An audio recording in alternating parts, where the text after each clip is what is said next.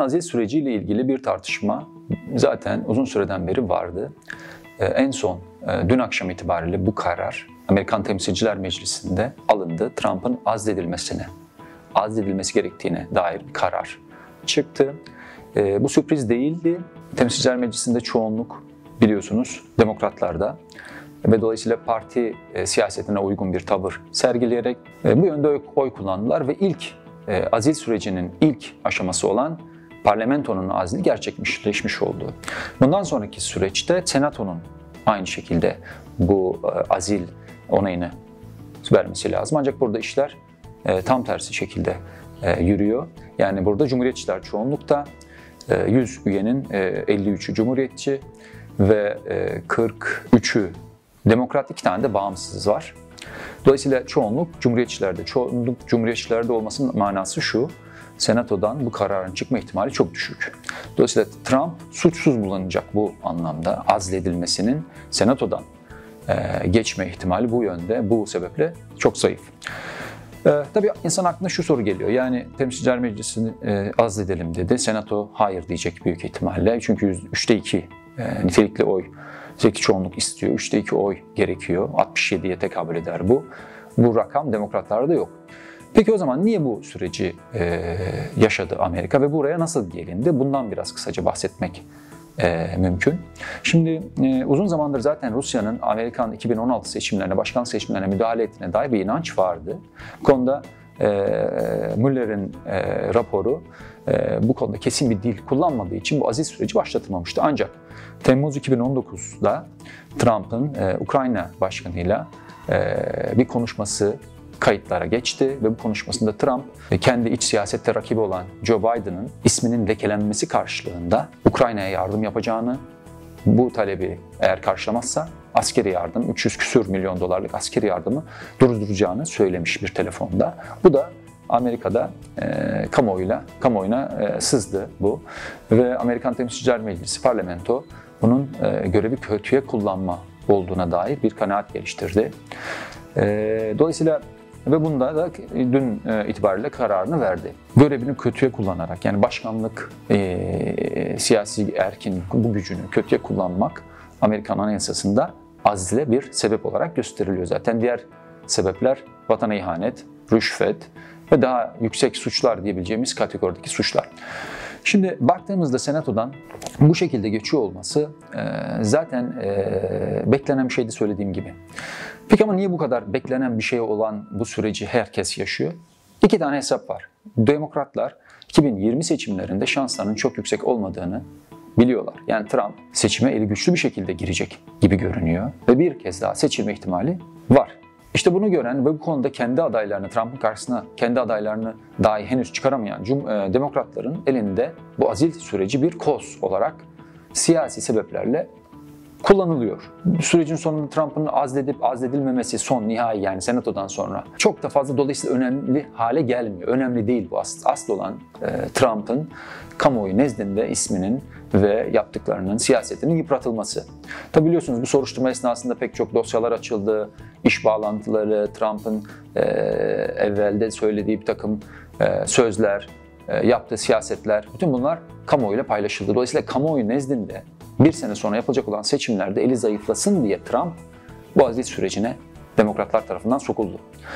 Ancak yine siyasi bir sebep olarak cumhuriyetçiler buna müsaade etmeyecektir. Çünkü aynen kendileri de kendi seçtikleri bir e, başkanın azledilmesine razı olan senatörler olarak tarihe geçmek istemiyorlar. Bu daha önce hiç yaşanmadı çünkü.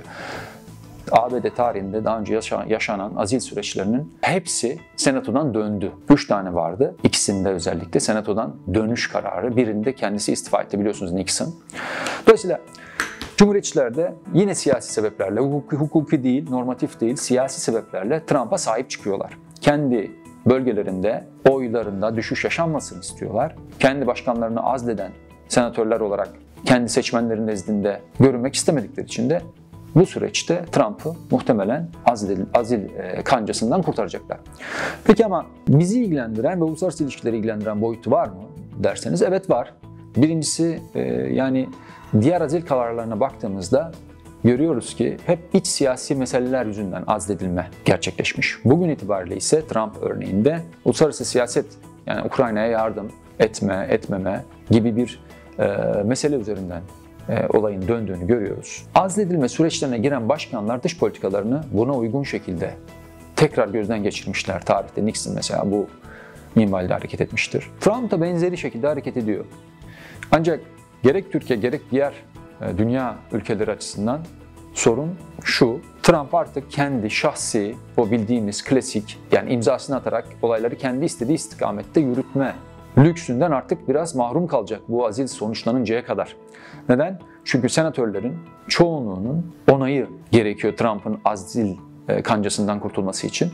Dolayısıyla senatörlerle arasını bozmak istemeyecektir Trump. E, Cumhurbaşkanı Erdoğan'ın e, geçtiğimiz 12 Kasım'da yapmış olduğu ABD ziyaretinde Hatırlayalım. Trump görüşmeye teamüllere aykırı şekilde 5 tane ABD Cumhuriyetçi senatörü de konuşmaya davet etmişti. Tabi bu senatörler Türkiye'yi Suriye'deki operasyonlarından dolayı çok ağır e, şekilde eleştirmeye çalıştılar. Alışılmadık bir durumdu bu ama işte biraz önce söylediğim gibi azil sürecinde Trump bu senatörlerin desteğine muhtaç durumda. Bundan sonra da muhtemelen bir müddet bu destek Türkiye karşıtlığı bilinen bu senatörlerin desteğine Trump'ın duyduğu bu ihtiyaç Türkiye ile ABD'nin ilişkilerini de etkileyecektir. Dolayısıyla biz ABD iç siyasetinin bir mevzusu olan azil sürecinden Türkiye olarak etkilenebileceğimiz, dolaylı da olsa bunun tesirlerini hissedebileceğimiz bir döneme girmiş bulunuyoruz. Azil diplomasisi diyebileceğimiz bir diplomasi dönemine giriyoruz. Geçtiğimiz hafta Londra'da NATO Liderler Zirvesi'nde de benzer bir süreç yaşandı. Özellikle iç siyasette bir başarı hikayesine ihtiyacı olan Trump biliyorsunuz her e, ülkeye, NATO üyesi ülkeye bütçelerinin, genel bütçelerinin %2'sini ayırmaları gerektiği konusunda yine telkinlerde hatta tacizlerde bulundu. Niye? Çünkü işte koparacağı bu konuda dış politikada koparacağı tavizleri iç siyasette bir zafer olarak sunma ihtiyacı duyuyor. Çünkü iç siyasette çok sıkışmış durumda.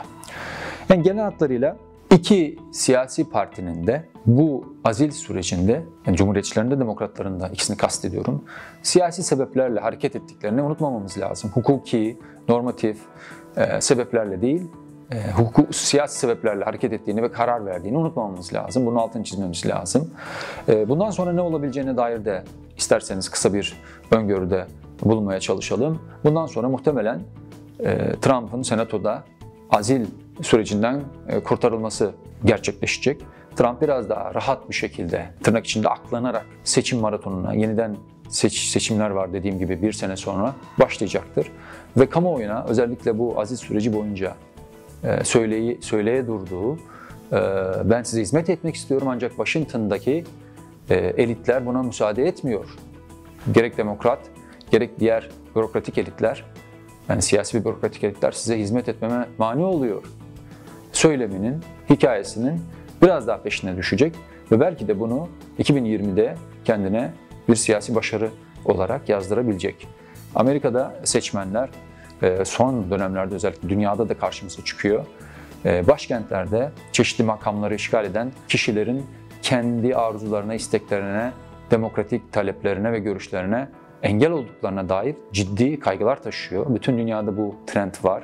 Adına popülizm diyebileceğimiz bir trend bu. Ve Trump da bu trendi arkasına, bu rüzgarı arkasına alıp e, bana yapılanların hepsi siyasi bir komplo. E, siz seçtiniz, bunlar görevden almak istiyor. E, buna müsaade etmeyin, bir kez daha beni seçin diye yeni bir söyleme başvuracaktır muhtemelen. Ve bu söylem önümüzdeki bir yıl boyunca sürekli bir şekilde karşımıza çıkacaktır. E, söylediğim gibi yani Trump'ın seçilme ihtimali kuvvetli görünüyor tekrar ancak bugünden itibaren e, yani çok da kesin konuşmamak lazım. Fakat görünen o ki azil süreci senatodan geçmeyecektir ve buna uygun bir sonuç tablosu görmemiz mümkün. Müzik